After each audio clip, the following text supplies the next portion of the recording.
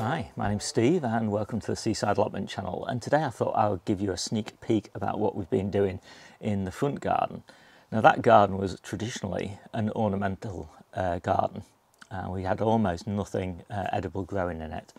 Uh, we did plant uh, one apple tree which actually came from my home garden and we planted that from a pip so it's not on a rootstock and then a few years later uh, another apple tree grew up from the root of that tree and it's actually um, like a sucker uh, but it has different apples on it which is weird. Anyway um, one of the beauties of gardening at home is there's so many different microclimates.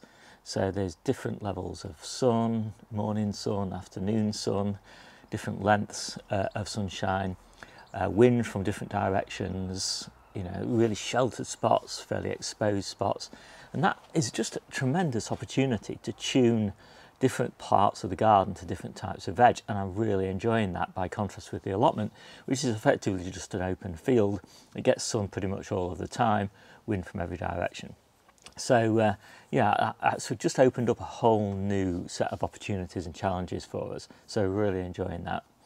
So let's just take a quick look at the front garden and you can see that it's really dominated by a rockery on one side and a lovely sort of sheltered area behind a wall on the other uh, and some dappled shade from the tree. And uh, um, so what we've decided to do is to plant onions all the way around the border of the garden. And I think we've got about 140 onions in there. Uh, some of those are from sets and some of them are um, spring onions from seed uh, so we've got a few hundred uh, spring onions in there as well. Uh, and then in the sunniest spot, but with a little bit of dappled shade from the tree at certain times of day, that's where we've put the courgettes. And then a bit further over from those, that's where we're going to put the summer squash, something like a trumpetino. Well, it will be a trumpetino, I think. Um, and then in all the kind of little gaps that open up, that's where we're going to put chard and perpetual spinach. Um, and and then we've got one spot which is really quite shaded. I think it only gets about six hours of sun a day, uh, and that's where we're going to put the kale.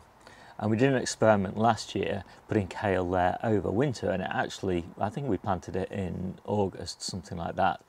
Um, but most of the time it grew over winter, uh, you know, late autumn and, and, winter, and it did amazingly well there. So we're really happy with that. So we think planting it now will be even better. Uh, and we've planted it quite densely and probably thin some of those plants out as it goes. So uh, yeah, so that's pretty much, oh, and then we've got the bean frames. Um, and so we're going to have two different varieties, a purple and a green uh, climbing French bean there. And then we've got some runner beans uh, and more French beans in the back garden. I'll talk about those in a minute. So I think that's pretty much what we're doing in the front garden. It's going to be really lovely. And then in the back garden, we're finally started harvesting. So it's, it's, I really am excited about that. Uh, we've got some beautiful lettuce beds, which we're going to start harvesting on Sunday. Uh, we've got that spinach red kitten bed. Um, and we've got um, the uh, alderman pea shoots, uh, which we're harvesting. So, and some corn salad. So quite a nice range of stuff in the garden just starting to come on stream. Obviously loads of stuff that uh, we're still waiting for. And then we've got a kale patch in the back garden as well and we planted that about two weeks ago and we had it under nets just for just to get the plants established. We've just taken the nets off those and they're looking really nice. So um, yeah, I'm very pleased about those.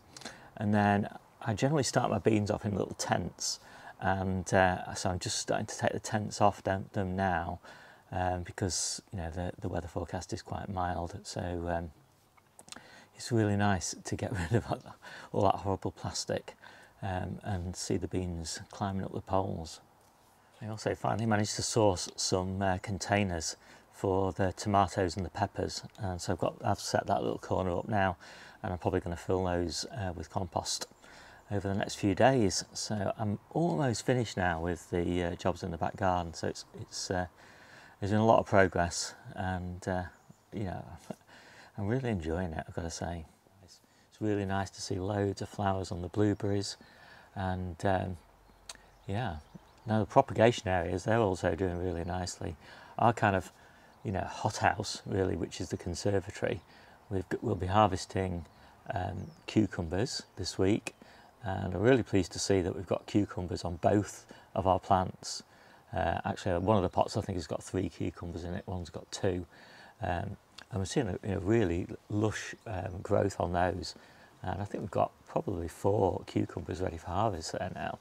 So that's really exciting. And of course, as soon as you start picking them, then you know more start to come. Uh, the, the, growth seems to really accelerate as soon as you pick the first ones. Um, and then our little, we're doing a lot of hardening off at the moment. So our little grow area is where we're keeping things um, during the night and then we're bringing them outside into the sun to harden off during the day. And then we've got another little grow tent thing that uh, Debbie bought from Aldi for 15 pounds because they were selling them off. And we attached it to the wall with a batten so it's really well secured because otherwise it would just blow away. But uh, that's where we've got a lot of the brassicas and perpetual kales.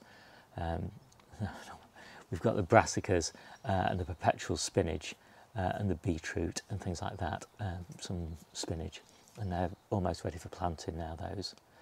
So uh, I think with that I'll finish up because I only wanted this to be a short video but uh, yeah lots going on at home and uh, Debbie's at the allotment at the moment I'm stuck at home so getting all my exercise in the back garden and that's where I'm making my videos so I'll see you soon.